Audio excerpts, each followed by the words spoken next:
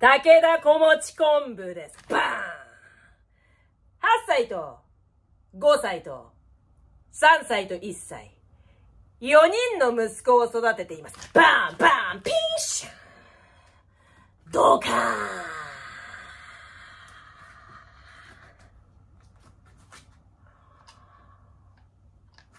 何と戦っているのかって？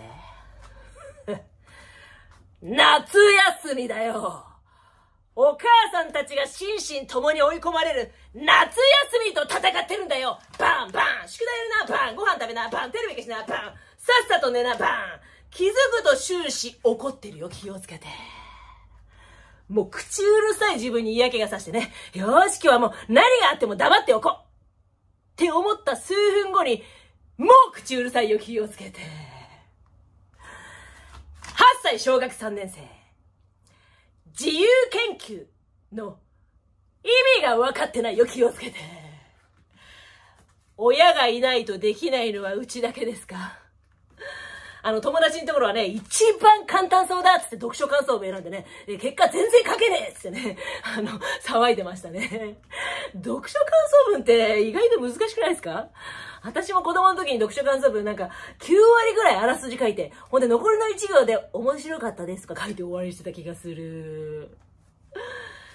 5歳、3歳幼稚園児。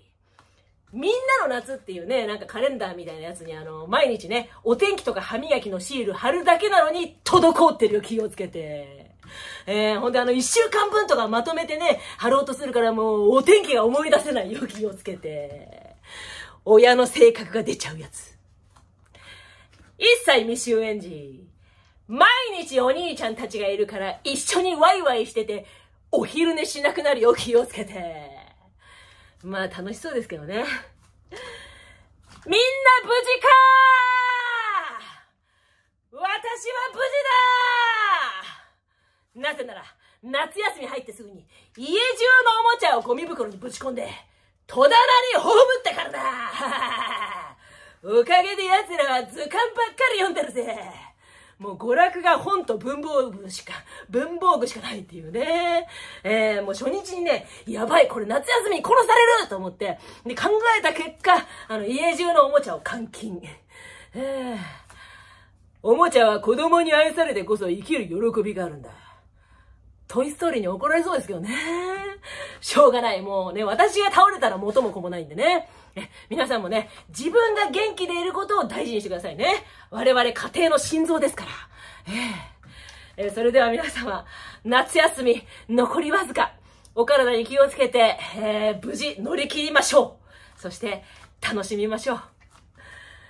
本日も家事育児、お疲れ様です。